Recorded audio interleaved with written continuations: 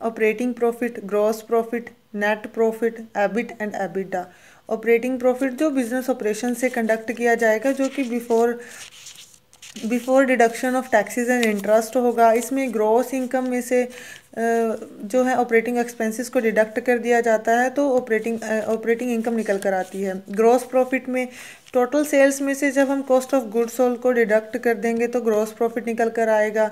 और net profit में, जब हम ग्रॉस प्रॉफिट में से operating non operating working expenses सबको डिडक्ट कर देंगे तो उसके बाद नेट प्रॉफिट निकल कर आएगा।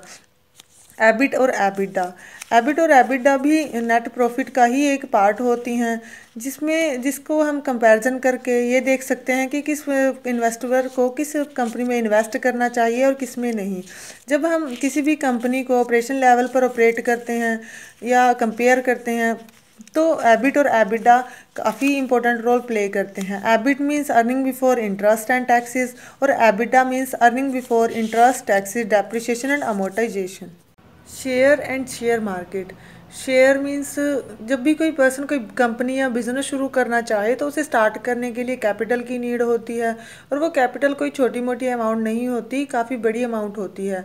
जिसके लिए जो पर्सन है या सिंगल इंडिविजुअल है, उसे अपने, अपनी जो कंपनी है ऑर्गेनाइजेशन है, उसकी कैपिटल को स्प्लिट करना पड़ता है, जिसे शेयर्स कहेंगे। और इन शेयर्स को शेयर मार्केट में इशू किया जाता है। Share market share market means जैसे हम, हमें कोई सामान परचेज़ करना होता है तो हम मार्केट, हमारे लिए मार्केट होती है। उसी तरह जैसे शेयर और, शेयर्स की सेलिंग और परचेज़ के लिए भी मार्केट होती है, जिसे शेयर मार्केट कहेंगे।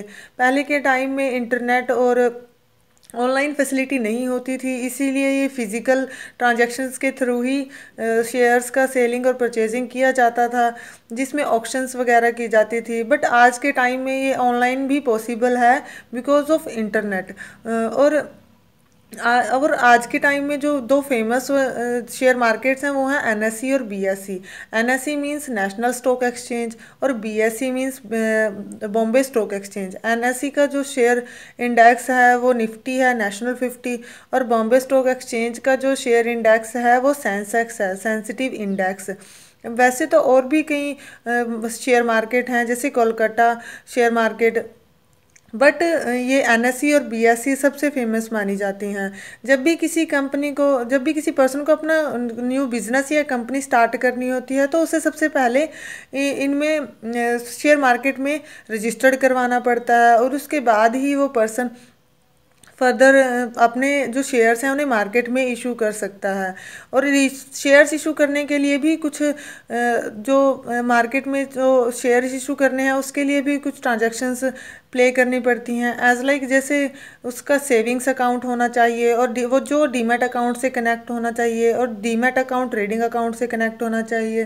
डीमेट अकाउंट में शेयर्स के सेलिंग और परचेजिंग से रिलेटेड ट्रांजेक्शन्स रिकॉर्ड होंगी और ट्रेडिंग अकाउंट में आ, किसी भी जो शेयर्स हैं, उनके उनकी जो ट्रांजैक्शंस रिकॉर्ड होंगी और उसमें से जो प्रॉफिट आएगा, वो डीमेट अकाउंट में ट्रांसफ़र होगा और डीमेट अकाउंट से जो है सेविंग्स अकाउंट में ट्रांसफ़र होगा। इसी तरह से स्टॉक मार्केट में अगर हम इन्वेस्ट करना चाहते हैं शेयर मार्केट में इन्वेस्ट करना चाहते हैं तो हमें सबसे पहले इन्हें अपनी कंपनीज़ को रजिस्टर्ड करना पड़ेगा। Revenue and profit revenue means जब भी कोई कंपनी अपनी गुड्स और सर्विसेज़ को बेचकर कुछ पैसा कमाती है तो उस पैसे को ही रिवेन्यू कहेंगे। रिवेन्यू किसी भी बिज़नेस की बैकबोन की तरह काम करती है और इसके बेसिस पर किसी भी बिज़नेस को लॉन्ग रन तक चलाया जा सकता है। ये दो तरह का होता है operating revenue and non operating revenue operating revenue में जो किसी कंपनी के मेन सोर्सेज को सेल करके कमाया गया प्रॉफिट हो, उसे ऑपरेटिंग रिवेन्यू कहेंगे। और किसी और नॉन ऑपरेटिंग रिवेन्यू में जैसे इनडायरेक्ट वे से अदर एक्टिविटीज़ से कमाया गया प्रॉफिट हो, जैसे रेंट इंटरेस्ट टैक्सेस एट्सेट्रा और प्रॉफिट प्रॉफिट मीन्स किसी भी बिज़नेस में प्रॉफिट एक ब्लड की तरह काम करता है. विदाउट प्रॉफिट कोई भी बिज़नेस लंबे समय तक नहीं चल सकता. और जब भी कोई पर्सन किसी बिज़नेस में इन्वेस्ट करता है तो बिज़नेस लाइबल हो जाता है ओनर को कि वो उसे प्रॉफिट आन कर कर दे. और प्रॉफिट भी दो तरह का होता है. ग्रॉस प्रॉफिट और नेट प्रॉफिट ग्रॉस प्रॉफिट जैसे किसी भी बिज़नेस में जब हम गुड्स को सोल्ड कर दें और उससे जो इनकम आई है मतलब टोटल सेल से जो इनकम आई है, उसमें से कॉस्ट ऑफ़ गुड्स सोल्ड को डिडक्ट करने के बाद ग्रॉस प्रॉफिट निकल कर आता है। और नेट प्रॉफिट में, जब हम ग्रॉस प्रॉफिट में से सारी एक्सपेंसेस को डिडक्ट कर दें working operating non operating expenses सबको डिडक्ट करने के बाद जो इनकम होगी, वही नेट इनकम कहलाएगी और नेट प्रॉफिट कहलाएगा। इन्वेस्टमेंट बैंकिंग इन्वेस्टमेंट बैंकिंग भी एक तरह के बैंक्स ही होते हैं, पर इनका जो मेन मोटिव होता है वो डिपॉजिट्स लेना या लोन प्रोवाइड करना नहीं होता। इनका जो मेन मोटिव होता है वो कॉरपोरेशंस ऑर्गेनाइजेशन या बिजनेसेस को फंडिंग प्रोवाइड करना होता है। जब भी कोई पर्सन या कंपनी किसी अदर कंपनी को परचेज़ करना चाहती है तो वो इन्वेस्टमेंट बैंक से ही लिंक करती है। उसके बाद इन्वेस्टमेंट बैंक अपने इन्वेस्टमेंट बैंकर्स को उस बिज़नेस में एनालिसिस करने के लिए भेजती है, जिससे वो पता करता है कि उसको कितना अमाउंट चाहिए, कब चाहिए और किस तरह से उसे इन्वेस्ट करना होगा किसी अदर कंपनी को परचेज़ करने के लिए। इसी तरह से जो इन्वेस्टमेंट बैंकर हैं या इन्वेस्टमेंट बैंकिंग है, वो इंटरमीडिएट की तरह ज़रूर काम करती हैं ताकि जो अदर इन्वेस्टर्स हैं इन्वेस्ट करना चाहते हैं, वो इन कंपनीज़ में इन्वेस्ट कर सकें। शेयर क्या होते हैं और शेयर मार्केट क्या होती है? शेयर। शेयर मीन्स जब भी कोई पर्सन अपने बिज़नेस या कंपनी शुरू करना चाहता है तो उसके लिए उसे कैपिटल की ज़रूरत होती है, जो कि छोटी मोटी अमाउंट नहीं होती, काफ़ी बड़ी अमाउंट होती है, जिसे बिज़नेस स्टार्ट करने वाला पर्सन अकेले फंडिंग नहीं कर सकता। इसके लिए उसे अपने बिज़नेस के काफ़ी सारे टुकड़े करने पड़ते हैं, जिसे शेयर्स कहते हैं, और इन शेयर्स को मार्केट में इशू किया जाता है, और उसके द्वारा ही फंडिंग को इकट्ठा किया जाता है। कैपिटल को इकट्ठा किया जाता है share market share market means जैसे हमें कुछ भी परचेज़ करना होता है तो हम हमारे लिए मार्केट होती है। उसी तरह जब भी शेयर्स को परचेज़ या सेल करना होता है तो उसके लिए भी अलग से मार्केट होती है, जिसे शेयर मार्केट कहते हैं। और पहले के टाइम में इंटरनेट वगैरह नहीं होते थे, इसीलिए जो शेयर की सेलिंग और परचेजिंग होती थी, वो फिज़िकली होती थी ऑप्शंस वगैरह किए जाते थे।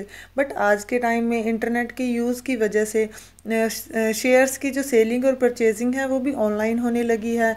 और इसके द्वारा ही सेल्स को शेयर्स को सेल या परचेज़ किया जाता है। शेयर मार्केट वैसे तो काफ़ी सारी हैं बट अभी प्रेजेंटली जो भी फ़ेमस मार्केट हैं वो हैं एन और B S C N S C means national stock exchange और B S C means Bombay stock exchange national stock exchange का शेयर इंडेक्स निफ्टी है नेशनल फिफ्टी और बॉम्बे स्टॉक एक्सचेंज का शेयर इंडेक्स सेंसेक्स है sensitive index और जब भी किसी कंपनी को अपने शेयर इशू करने होते हैं तो उसे सबसे पहले अपने, अपनी कंपनी को शेयर मार्केट में रजिस्टर करवाना पड़ता है, जो कि SEBI stock exchange board of India द्वारा दी गई गाइडलाइंस पर ही रजिस्टर होती है। और इसके बाद ही कोई भी कंपनी अपने शेयर्स को इशू कर सकती है publicly I am Sunita my name is reliable and decent so मैं अपने नाम के बिल्कुल अनुरूप हूँ। As I am well behave polite and discipline so मैं यमुनानगर से बिलोंग करती हूँ which is also known as paper city and I have done my masters in finance with first division from Kurukshetra university sir मुझे motivational books पढ़ना new personality से मिलकर कुछ नया सीखना पसंद है। And now a day my aim is to get a job in a reputed organisation like NABARD जहाँ मैं अपना करियर भी बिल्ड कर सकूँ और ऑर्गेनाइजेशन को भी हेल्प कर सकूँ। And my greatest strength is attention to detail. I do not overlook any part of a project and try to go in as much depth and detail as possible and I never give up on anything very easily and uh, try I believe in try try again until I get success. And my friends call me a versatile personality because of my adjustable nature and I can easily change myself according to the situation and need. That's all about me, sir. Thank you.